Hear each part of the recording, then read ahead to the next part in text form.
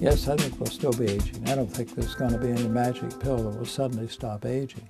What I think will happen is that there will be a slowing in the process of aging and therefore a delay in the onset of diseases.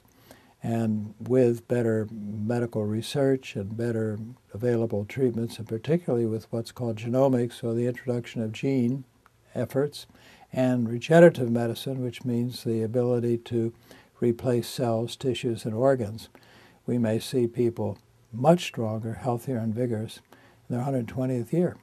I mean, we will uh, still have uh, the effects if we continue to expose ourselves to the sun, we're going to have wrinkles.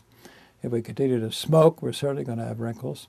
There are things we can do to make ourselves appear more attractive as we grow older if we have the discipline to do it.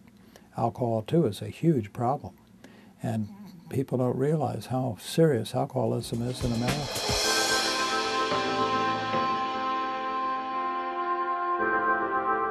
Well, we only have one real example, and that was an interesting French woman named Jeanne Calment. And she had apparently a great sense of humor right up through her, the end of her life, which occurred at 122. So she was quite remarkable. I don't know all the details, but there's one great story that at the end of one of her birthday celebrations when she was like 120, and by that time, of course, journalists from all over Europe would come to see her in Arles, France. And at the end of one such occasion, the cake had been cut and everything was done.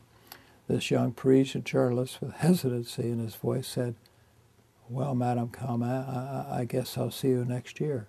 And she said in a nanosecond, I don't see why not. You look to be in pretty good health to me.